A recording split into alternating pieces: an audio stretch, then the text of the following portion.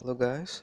In this video i'm going to tell you how to install a window or how to change your window whatever you want to call it.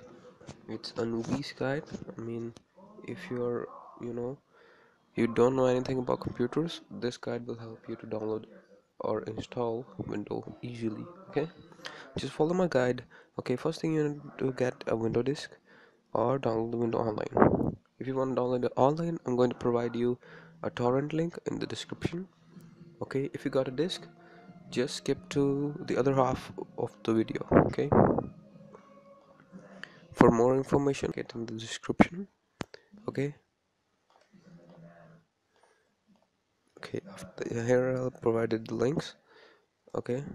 I'm leaving a link in the description for okay now after downloading the window you need to install it. And if you want to install it a pen drive or flash drive you can burn your window on pen drive or if you uh, want it on the cd you can burn it on the cd okay? For installing my pen drive i'm explaining full steps okay?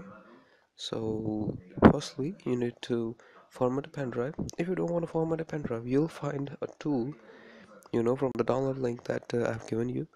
That is a rufus usb tool okay? You just need to double click on that double click on Rufus and uh, this window will pop this dialog box will appear. And uh, you just need to click on FreeDOS and uh, change it to you know ISO image. And then choose the image by clicking right. Okay now go to the directory of the ISO which you have downloaded. Okay from my link. And uh, by selecting that press start okay you need to plug in your USB drive. So you can see that mine is plugged already. Now it will take 5 to 10 minutes depending on the PC to you know complete the process. And uh, see. Now the process is complete. Okay you need to close it and uh, restart your PC I'm explaining other steps uh, via my mobile camera. So for low clarity uh, please forgive me and thank you for staying tuned. Keep on watching.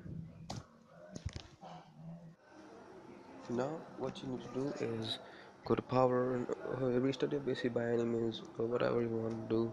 Okay just restart your pc okay on the start screen you have to press f12 okay and after that by pressing f12 you'll um, boot menu will appear and uh, if you're using a cd or dvd you can select cd dvd if you're using USB memory or pen drive you need to click on USB memory. It will detect the pen drive any port now it says preparing to boot from USB click enter okay if you inserted CD it will say preparing the boot from CD drive and you have to press enter okay? Then window will load its files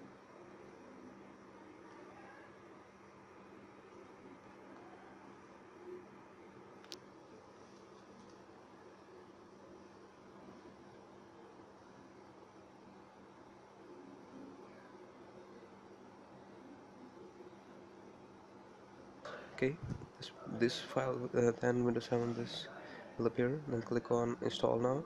If your window is corrupted click on repair your, your computer. Okay after clicking on install now your setup will, setup will start.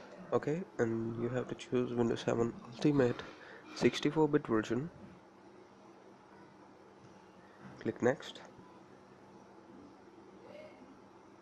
And accept the terms then click on custom advanced and then select the drive you want to install your window okay you need to format drive sometime or if it's already NTFS you can click on next. If you want to remove your previous window you to format then clicking on next will uh, start uh, installing new window. You can fix any window. You can download window 10 and uh, use same means for booting your window 10 into this pen drive and uh, use it thanks for watching and staying tuned. Uh, please subscribe. Thanks a lot